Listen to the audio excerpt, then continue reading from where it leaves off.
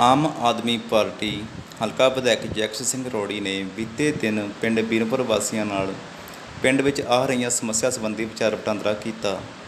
ਇਸ ਮੌਕੇ ਪਿੰਡ ਵਾਸੀਆਂ ਨੇ ਦੱਸਿਆ ਕਿ ਕੁਝ ਗਰੀਬ ਪਰਿਵਾਰਾਂ ਨਾਲ ਸੰਬੰਧਿਤ ਔਰਤਾਂ ਨੇ ਆਪਣੇ ਨਿੱਜੀ ਕੰਮ ਚਲਾਉਣ ਲਈ ਪ੍ਰਾਈਵੇਟ ਬੈਂਕ ਅਤੇ ਫਾਈਨੈਂਸ ਵੱਲੋਂ ਲੋਨ ਲਏ ਹੋਏ ਹਨ। ਪਰ ਕਰੋਨਾ ਕਾਲ ਦੌਰਾਨ ਸਾਰੇ ਕੰਮਕਾਰ ਬੰਦ ਹੋ ਕੇ ਰਹਿ ਗਏ ਹਨ। ਪਰ ਬੈਂਕ ਫਾਈਨੈਂਸ ਵਾਲਿਆਂ ਵੱਲੋਂ ਇਹਨਾਂ ਪਰਿਵਾਰਾਂ ਨੂੰ ਕਿਸ਼ਤਾਂ ਭਰਨ ਲਈ ਮਜਬੂਰ ਕੀਤਾ ਜਾ ਰਿਹਾ ਹੈ। ਦੱਸਣਯੋਗ ਹੈ ਕਿ ਪੰਜਾਬ ਸਰਕਾਰ ਵੱਲੋਂ ਕਿਸ਼ਤਾਂ ਭਰਨ ਦੀ ਮਿਆਦ ਵੀ ਵਧਾਈ ਗਈ ਹੈ। ਪਿੰਡ ਵਾਸੀਆਂ ਨੇ ਵਿਧਾਇਕ ਨੂੰ ਪਿੰਡ ਵਿੱਚ ਆ ਰਹੀ ਪਾਣੀ ਦੀ ਕਿੱਲਤ ਅਤੇ ਬਿਜਲੀ ਦੀ ਸਪਲਾਈ ਬਾਰੇ ਵੀ ਦੱਸਿਆ।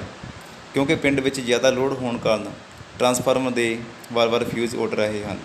ਪਿੰਡ ਵਾਸੀਆਂ ਨੇ ਵਿਧਾਇਕ ਤੋਂ ਮੰਗ ਕੀਤੀ ਹੈ ਕਿ ਬੀਰਮਪੁਰ ਤੋਂ ਗੜਸ਼ੰਕਰ ਲਿੰਕ ਸੜਕ ਜਲਦੀ ਬਣਵਾਈ ਜਾਵੇ, ਜਿਸ ਦੀ ਹਾਲਤ ਕਾਫੀ ਖਰਾਬ ਹੋ ਚੁੱਕੀ ਹੈ।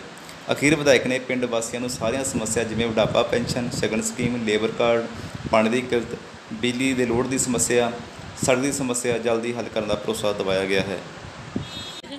ਅਤੇ ਕਿਸ਼ਤਾਂ ਸਾਨੂੰ ਕਿਸ਼ਤਾਂ ਵਾਲੇ ਤੰਗ ਕਰਤੇ ਪਏ ਆ ਜੇ ਸਾਡੇ ਕੋਲੋਂ ਦੇ ਨਹੀਂ ਹੋਣੀ ਕਿਸ਼ਤ। ਕਰਿਆ ਜਾਂਦੇ ਤਾਂ ਘਰੇ ਆ ਕੇ ਬੈਠੇ ਰਹੇ ਦੋ ਤਿੰਨ ਤਿੰਨ ਘੰਟੇ ਘਰੇ ਬੈਠੇ ਰਹਿੰਦੇ ਕਹਿੰਦੇ ਜਿੱਥੋਂ ਮਰਜ਼ੀ ਕੰਮ ਕਰਨਾ ਵੀ ਸਾਨੂੰ ਔਖਾ ਕਰ ਦਿੱਤੇ ਆ ਇੰਨੇ ਬੋਲਦੇ ਆ ਕੇ ਬੈਠ ਜਾਂਦੇ ਆ। ਕੇ ਕੋਸੇ ਡਾ ਕੇ ਉੱਥੇ ਹੀ ਬੈਠੇ ਰਹਿੰਦੇ। ਹਾਂਜੀ ਐਮਐਲ ਸਾਹਿਬ ਤੁਹਾਡਾ ਇਸ ਬਾਰੇ ਕੀ ਕਹਿਣਾ ਜੀ? ਅੱਜ ਤੁਸੀਂ ਬੀਰਪੁਰ ਪਹੁੰਚੇ ਹੋ ਜੀ।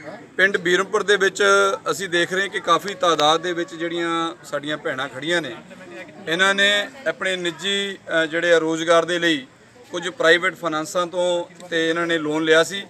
ਔਰ ਜਿਵੇਂ ਭਾਰਤ ਸਰਕਾਰ ਦੀ ਹਦਾਇਤ ਆ ਕਿ ਮਾਰਚ ਅਪ੍ਰੈਲ ਮਈ ਜੂਨ ਜੁਲਾਈ ਅਗਸਤ ਤੱਕ ਨਾ ਕੋਈ ਬੈਂਕ ਤੇ ਨਾ ਹੀ ਕੋਈ ਪ੍ਰਾਈਵੇਟ ਫਾਈਨਾਂਸ ਕੰਪਨੀਆਂ ਜਿਹੜੀਆਂ ਇਹਨਾਂ ਕੋਲੋਂ ਕਿਸ਼ਤ ਦੀ ਮੰਗ ਕਰ ਸਕਦੀਆਂ ਨੇ, ਕਿਉਂਕਿ ਜੋ ਇਹਨਾਂ ਨੇ ਕਮਾਣਾ ਸੀ ਉਹੀ ਖਾਣਾ ਸੀ, ਪਰ ਲੋਕਡਾਊਨ ਦੇ ਵਿੱਚ ਨਾ ਇਹਨਾਂ ਦੇ ਕੋਈ ਵਿੱਚ ਕੋਈ ਕਮਾਈ ਦਾ ਸਾਧਨ ਸੀ ਤੇ ਨਾ ਹੀ ਇਹਨਾਂ ਨੇ ਅੱਜ ਤੱਕ ਇਹ ਜਿਹੜੇ ਕਿਸ਼ਤਾਂ ਦੇਣ ਦੇ ਵਿੱਚ ਸਮਰੱਥ ਹੈ।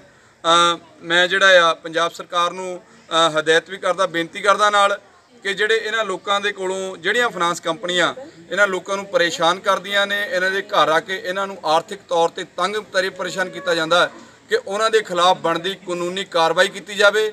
ਔਰ ਉਹਨਾਂ ਫਾਈਨਾਂਸ ਕੰਪਨੀਆਂ ਨੂੰ ਵੀ ਆਪਾਂ ਚੇਤਾਵਨੀ ਦਿੰਦੇ ਆ ਕਿ ਜੇਕਰ ਤੁਸੀਂ ਇਹਨਾਂ ਗਰੀਬ ਲੋਕਾਂ ਦੇ ਖੂਨ ਪਸੀਨੇ ਦੀ ਕਮਾਈ ਵਿਆਜ ਦੇ ਤੌਰ ਤੇ ਖਾ ਰਹੇ ਹੋ ਜੇਕਰ ਇਹਨਾਂ ਨੂੰ ਤੰਗ ਪਰੇਸ਼ਾਨ ਕੀਤਾ ਤਾਂ ਅਸੀਂ ਜਿਹੜਾ ਤਿੱਖਾ ਸੰਘਰਸ਼ ਛੇੜਾਂਗੇ ਔਰ ਉਹਨਾਂ ਦੇ ਖਿਲਾਫ ਜਿਹੜੀ ਬਣਦੀ ਕਾਨੂੰਨੀ ਕਾਰਵਾਈ ਹੈ ਉਹ ਆਪਾਂ ਜ਼ਰੂਰ ਕਰਵਾਵਾਂਗੇ। ਹੋਰ ਕਿਹੜੇ ਤੁਹਾਡੇ ਧਿਆਨ ਵਿੱਚ ਆਈਆਂ ਇੱਥੇ ਦੀਆਂ ਪਰੇਸ਼ਾਨੀਆਂ ਜੋ ਵੀ ਹੈਗਾ? ਪਿੰਡ ਦੇ ਵਿੱਚ ਵੈਸੇ ਜੇਕਰ ਆਪਾਂ ਦੇਖੀਏ ਕਿਉਂਕਿ 70 ਸਾਲ ਹੋ ਗਏ ਆਪਣੇ ਪਿੰਡ ਦੇਸ਼ ਆਜ਼ਾਦ ਹੋਏ ਨੂੰ ਪਰ ਹਾਲੇ ਤੱਕ ਵੀ ਪਿੰਡਾਂ ਦੇ ਜੇਕਰ ਵੀ ਸਮੱਸਿਆਵਾਂ ਦੀ ਆਪਾਂ ਗੱਲ ਕਰੀਏ, ਉਹਨਾਂ ਦੇ ਮਕਾਨਾਂ ਦੇ ਛੱਤਾਂ ਦੀ ਗੱਲ ਹੈ, ਉਹਨਾਂ ਦੇ ਜਿਹੜੇ ਆ ਪਿੰਡਾਂ ਦੇ ਵਿੱਚ ਪਾਣੀ ਦੀ ਨਿਕਾਸੀ ਦੀ ਗੱਲ ਹੈ, ਪੀਣ ਵਾਲੇ ਪਾਣੀ ਦੀ ਪ੍ਰੋਬਲਮ ਦੀ ਗੱਲ ਹੈ, ਬਿਜਲੀ ਦੀ ਸਮੱਸਿਆ ਆ ਹੈਲਥ ਦੀ ਪ੍ਰੋਬਲਮ ਆ, ਜਿਹੜੀ ਮੇਨ ਗੜਸ਼ੰਕਰ ਤੋਂ ਸੜਕ ਆਉਂਦੀ, ਉਹਦੀ ਵੱਡੀ ਸਮੱਸਿਆ ਆ। ਜੇਕਰ ਆਪਾਂ ਸਮੱਸਿਆਵਾਂ ਦੀ ਗੱਲ ਕਰੀਏ, ਬਹੁਤ ਲੰਬੀ ਲਿਸਟ ਜਿਹੜੀ ਹੈ ਸਮੱਸਿਆਵਾਂ ਦੀ ਹੈ ਔਰ ਸਰਕਾਰ ਕੋਲੋਂ ਵਾਰ-ਵਾਰ ਮੰਗ ਵੀ ਕਰਦੇ ਆ, ਕਿਉਂਕਿ ਵੈਸੇ ਤਾਂ ਉਹ ਗੱਲ ਕਰਦੇ ਕਿ ਅਸੀਂ ਇੰਨੇ ਕਰਜ਼ੇ ਮਾਫ ਕਰ ਦਿੱਤੇ, ਪਰ ਮੈਂ ਨਹੀਂ ਦੇਖ ਰਿਹਾ ਕਿ ਕਿਸੇ ਦਾ ਕੋਈ ਕਰਜ਼ਾ ਮਾਫ ਹੋਇਆ ਹੋਵੇ। ਕਿਉਂਕਿ ਇਹ ਉਹ ਲੋਕ ਨੇ ਜੋ ਕਮਾਣਾ ਉਹੀ ਖਾਣਾ। ਸਰਕਾਰ ਨੂੰ ਆਪਾਂ ਬੇਨਤੀ ਕਰਦੇ ਹਾਂ ਕਿ ਜਿਹੜੇ ਉਹਨਾਂ ਨੇ ਵਾਅਦੇ ਕੀਤੇ ਸੀ ਕਿ ਇਹਨਾਂ ਨੌਜਵਾਨਾਂ ਨੂੰ ਨੌਕਰੀ ਦੇਵਾਂਗੇ, ਇਹਨਾਂ ਨੂੰ ਸਸਤੀ ਬਿਜਲੀ ਦੇਵਾਂਗੇ, ਇਹਨਾਂ ਨੂੰ ਫ੍ਰੀ ਦੇ ਵਿੱਚ ਇਹਨਾਂ ਦੀ ਸਿਹਤ ਸਹੂਲਤਾਂ ਦੇਵਾਂਗੇ, ਇਹਨਾਂ ਨੂੰ 25 2500 ਰੁਪਏ ਬੁਢਾਪਾ ਪੈਨਸ਼ਨ ਦੇਵਾਂਗੇ 51000 ਸ਼ਗਨ ਸਕੀਮ ਦੇਵਾਂਗੇ, ਉਹ ਆਪਣੇ ਵਾਅਦੇ ਪੂਰੇ ਕਰੇ ਔਰ ਮੈਂ ਇਹਨਾਂ ਲੋਕਾਂ ਦੇ ਨਾਲ ਬਿਲਕੁਲ ਚਟਾਰ ਵਾਂਗ ਖੜੇ ਆ ਆਪਾਂ ਇਹਨਾਂ ਨੂੰ ਬੇਨਤੀ ਕੀਤੀ ਹੈ ਕਿ ਜੇਕਰ ਤੁਹਾਡੀ ਕੋਈ ਵੀ ਕਿਸੇ ਵੀ ਤਰ੍ਹਾਂ ਦੀ ਸਮੱਸਿਆ ਪਰਸਨਲ ਭਾਵੇਂ ਵੈਸੇ ਆ, ਤਾਂ ਉਹ ਗੜਸ਼ੰਕਰ ਸਾਡੇ ਦਫ਼ਤਰ, ਖਾਲਸਾ ਕਾਲਜ ਦੇ ਬਿਲਕੁਲ ਸਾਹਮਣੇ ਉੱਥੇ ਮੇਰੇ ਨਾਲ ਸੰਪਰਕ ਕਰ ਸਕਦੇ ਧੰਨਵਾਦ।